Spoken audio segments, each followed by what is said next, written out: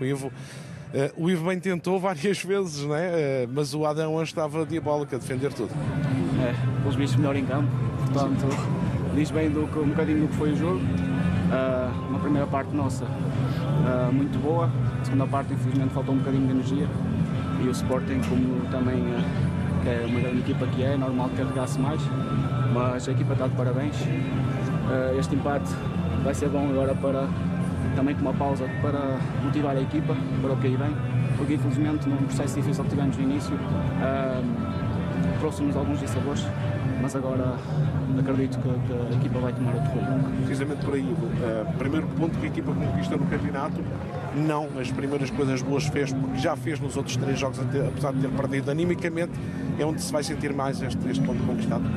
Sim, e sinceramente é um ponto que sabe um bocadinho a derrota, porque acreditei muito, mesmo na segunda parte, que íamos sair daqui com os três pontos. Uh, seria muito bom, infelizmente não conseguimos.